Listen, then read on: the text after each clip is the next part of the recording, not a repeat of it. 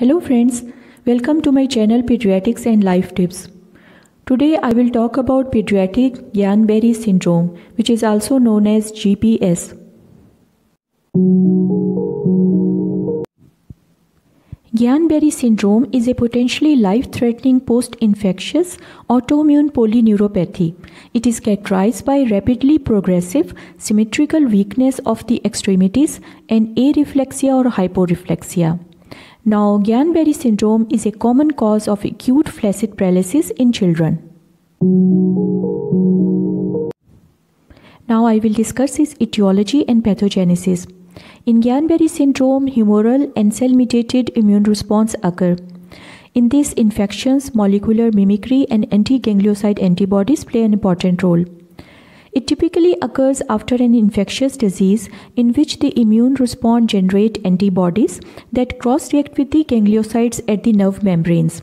Now this autoimmune response result in nerve damage or functional blockade of the nerve conduction.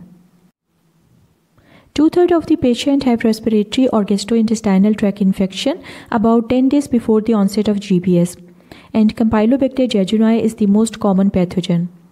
Now, the envelope of Campylobacter jejuni contain lipo-oligosaccharides. This elicit production of antibodies in the host and these antibodies cross-react with the ganglioside which are present on the peripheral nerves.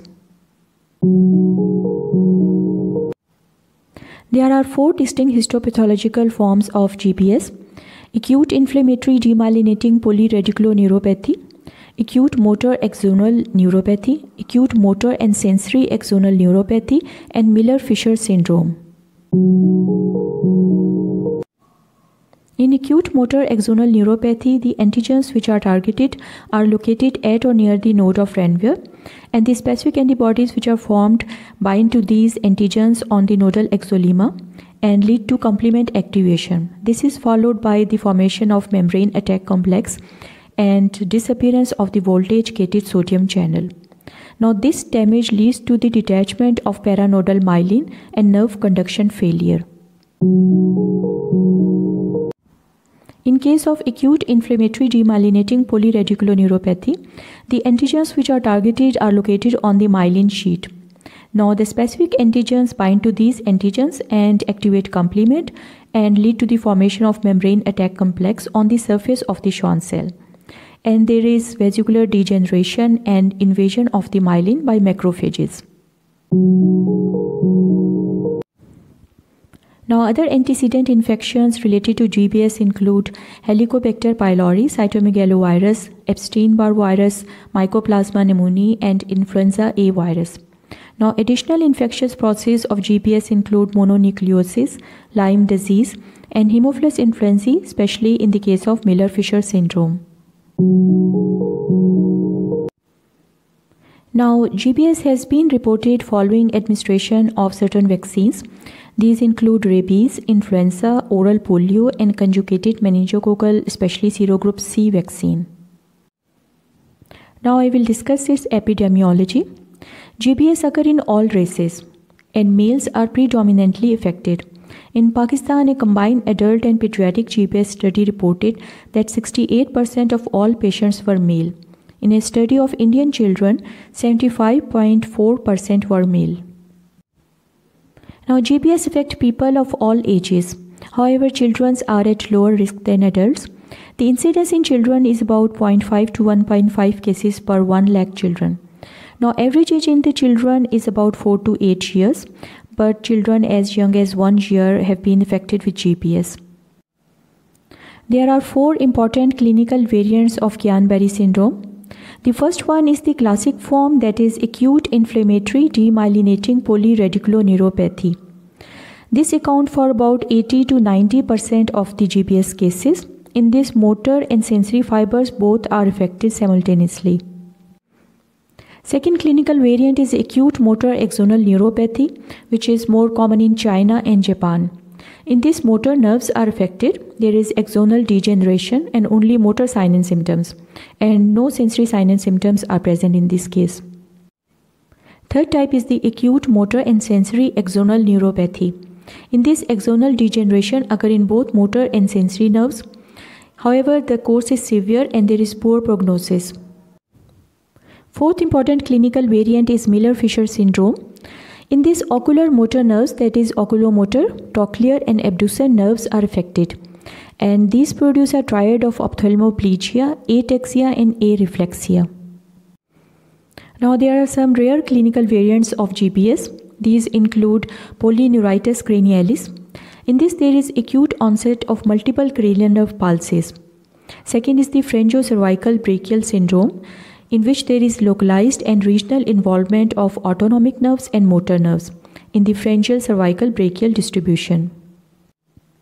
Other rare variants of GBS include acute sensory neuropathy of childhood and acute pandysautonomia. In this, parasympathetic and sympathetic involvement is present along with the sensory and motor nerves. Now I will discuss the clinical presentation. Initial symptoms are numbness and paresthesia and this is followed by weakness. The leg weakness that is foot drop is first noticed and the weakness eventually involve the calf and the thighs. Progressive involvement of the trunk, upper limbs and finally the bulbar muscle weakness occur and this is known as the Landry ascending paralysis. Now this progression may occur over hours to days to weeks. Now weakness is usually symmetric however asymmetry is noted in 9% of the patient and this weakness progressed to inability or refusal to walk and later to flaccid tetraplegia. Maximal severity of weakness is usually reached by 4 weeks after onset.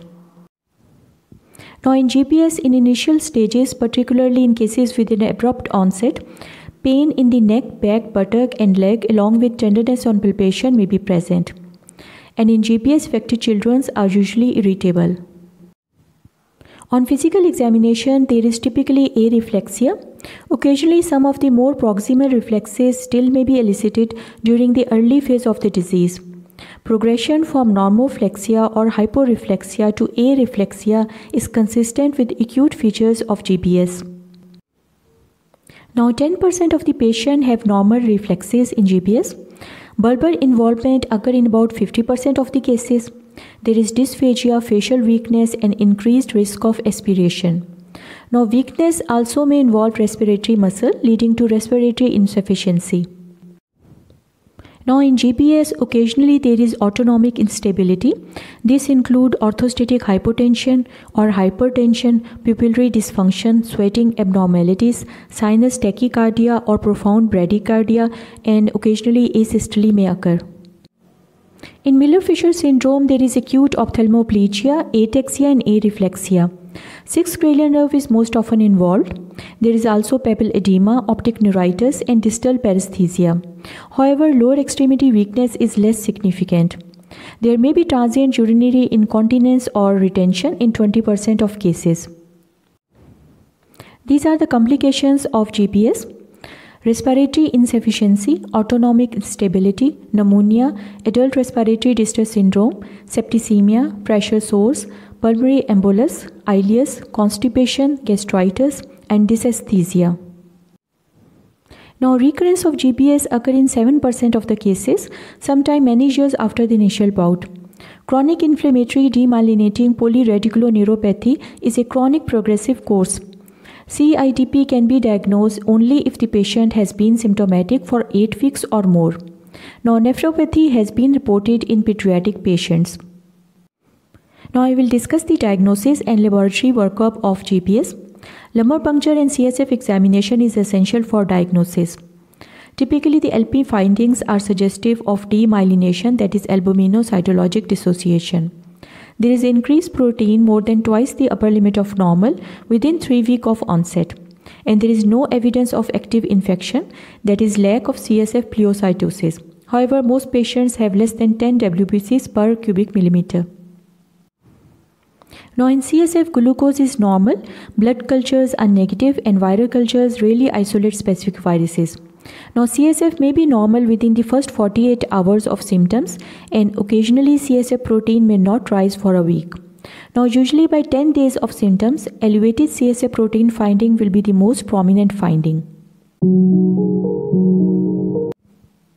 Now, second important study is the lumbosacral MRI.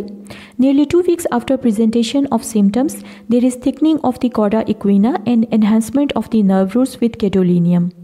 Now, MRI findings are fairly sensitive for acute GBS and these are present in more than 90% of the typical cases. Third is the electrodiagnostic studies. In this motor nerve conduction velocities are greatly reduced.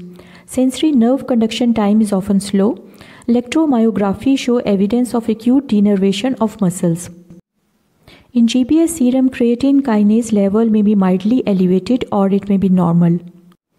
In adults, certain serum ganglioside antibodies like GM1, GM1B, GT1A antibodies have been associated with Campylobacter jejuni infection, acute motor axonal neuropathy, a more severe course, and more residual neurological deficit. But these studies are still under investigation in children. Following are the serum anti-ganglioside antibodies which are associated with specific variants of GBS. Now, muscle biopsy is not usually required for diagnosis. It is normal in early stages and show evidence of denervation atrophy in chronic stages. Sural nerve biopsy shows segmental demyelination, focal inflammation, and Wallerian degeneration. Now, serological testing for Campylobacter and Helicobacter infections may help establish the diagnosis if the results are positive. Stool cultures are rarely positive because the infection is self limited and only occurs for about 3 days. Now, I will discuss the management. All patients of GBS should be admitted.